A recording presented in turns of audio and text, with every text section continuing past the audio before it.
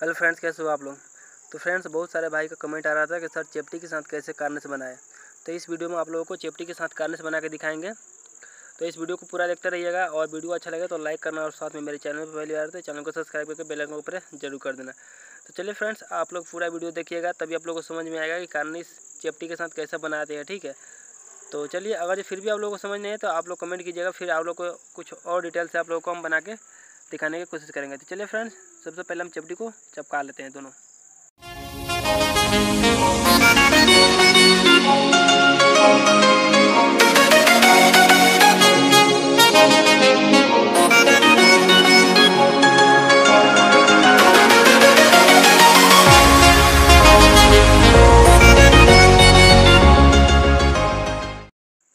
चपटी को चपकाने के बाद से आप क्या कीजिए, इसमें फार्मे चला कर देख लीजिए, आपका फार्मा तो कहीं लड़ तो नहीं रहा है, ठीक है? आप पूरा तरीके से चारों तरफ़ से चेक कर लीजिएगा दोनों साइड से, ताकि आपको फार्मा ना लड़े। और उसके बाद से करना कुछ नहीं फ्रेंड्स, इसके बीच में फिर मसाला छापना है, और छापने के बाद से सिर्फ़ चेपटी के सहारे से कार्निश को खींचना है तो आपका कार्निश बिल्कुल सीधा आएगा। चाहे आपका दीवार टेढ़ा हो, चाहे कुछ भी हो तो आप इस तरीके से आप कार्निश को बना सकते हैं। पूरा वीडियो आप देखिएगा, इस शुरू से ऑन तक देखिएगा।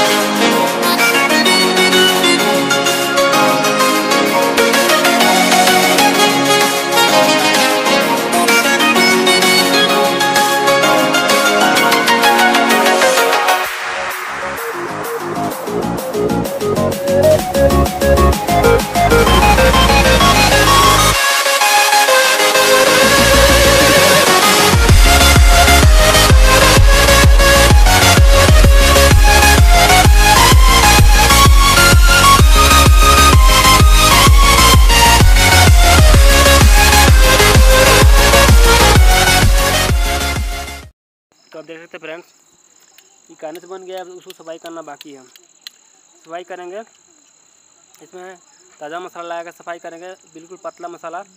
पूरा पूरा तेज़ हो जाएगा तो क्या होगा कि फ्रेंड्स ये मतलब आपका सफ़ाई नहीं हो पाएगा, ठीक है? तो पूरा टाइट मसाला नहीं लगाए पूरा नॉर्मल मसाला लगाए ताकि आपका जो सफ़ाई है बिल्कुल फिट हो जाए और अच्छा से हो गया सफ़ाई। क्योंकि कारने सफ़ाई में नहीं आएगा, फिर अच्छा नहीं लगता है देखने में और काफ़ी बाधा लगता है देखने में। तो जब भी सफ़ाई करें तो उसमें मतलब ताज़ा ही मसाला लगाए और नरम मसाला बिल्कुल लगाए ताकि जल्दी से जल्दी आपका सफ़ाई हो सके। तो चलिए, आप देखते रहिए वीडियो को, सफ़ाई किस तरीके से। ये अरुण भाई इसको कर रहे हैं।